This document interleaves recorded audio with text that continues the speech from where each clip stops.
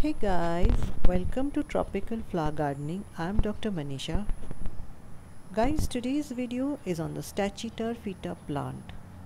This, also, this plant is also known by names like blue snake weed, blue porter weed, Brazilian tea plant and porter weed plant.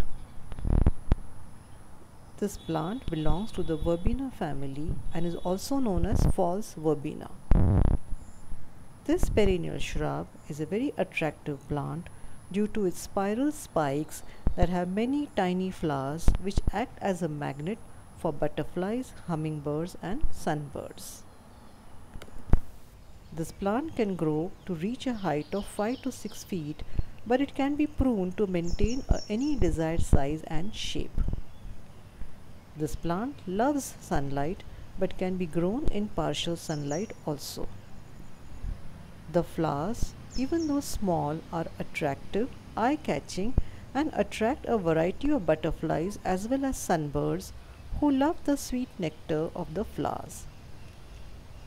The flowers are borne on long, slender, curved terminal spikes and are tiny, tubular, have five petals and a white throat.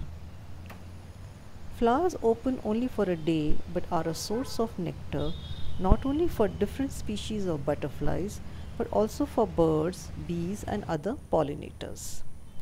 The leaves of this plant are dark green, ovate and have serrated margins. This plant is easy to grow and maintain and it is also one of the best ornamental plants for landscaping as it blooms non-stop and looks very beautiful.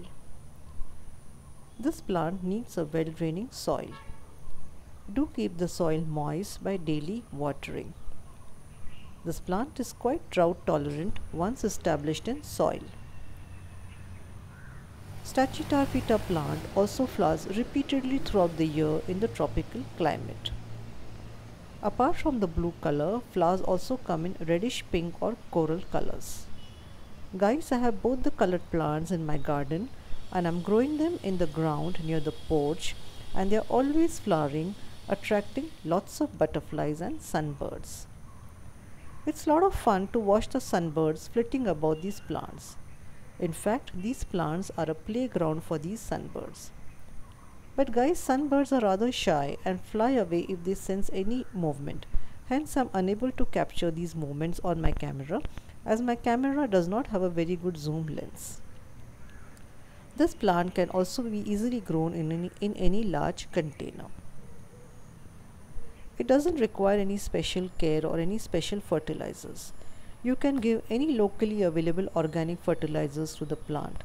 I usually give cow dung manure, vermicompost, neem cake fertilizer and compost to all my plants every 2 months or so. Propagation of this plant is from stem cutting and from seeds. This plant is also quite resistant to pests and disease. Stachytarpheta makes an excellent specimen or accent plant. It is also used in butterfly gardens.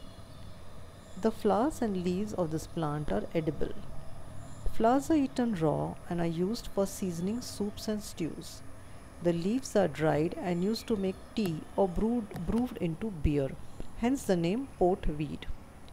This plant also has medicinal benefits and in few countries leaves and stems are used to make tea called Brazilian tea which has antifungal, anti-inflammatory and antioxidant properties and it is used uh, in treatment of some medical ailments.